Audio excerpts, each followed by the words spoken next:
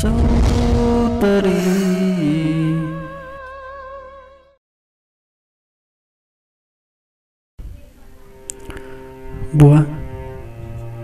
तपाईँले चिरेको झिझै झिझा भएको दाउरा हेर्थेँ म र फुटेका तपाईँको औँला हेर्थेँ। झिझो दाउरा हेर्थेँ औँला हेर्थेँ ठ्याक्कै उस्तै देख्थेँ।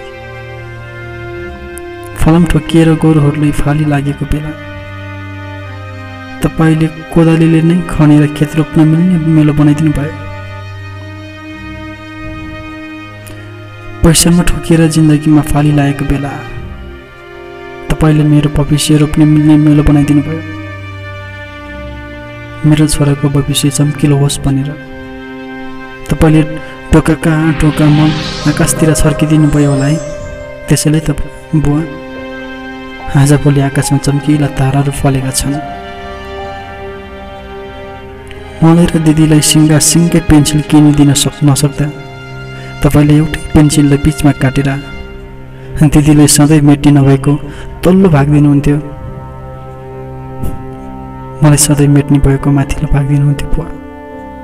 बुवा तपाईँलाई त्यतिखेरै थाहा रहेछ है मैले भविष्यमा धेरै गल्तीहरू गर्नेछु भनेर।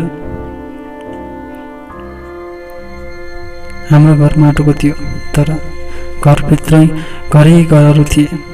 किराहरूको फटेङ्ग्राहरूको। तपाईँले एक्लै बोकेर सार्नुभएको थियो अरे। दुःख नगरको हाम्रो घरलाई। आशा नगरसम्म तपाईँको काँध यसरी फुटेको थियो अरे जसरी मेरो ग्राफ कापीका तरकार फुटेको हुन्छ। सबैको दुःख बोक्ने त्यत्रो बल कहाँबाट ल्याउनु भयो म चाँडै आउँदैछु बुवा। तपाईँको तिनै औँलासम्मतिर घरबाट टाढोसम्म हिँड्न मैले ताते ताते गर्दा मेरो गोडा थाकेको बेला तपाईँले मलाई बोकेर घर फर्काउनुहुन्थ्यो। बुवा यसपालि मलाई जान्नु छ तपाईँसँग म हिँड्दा तपाईँको गोड थाकेपछि बोकेर फर्कन सक्छु कि सक्दिनँ।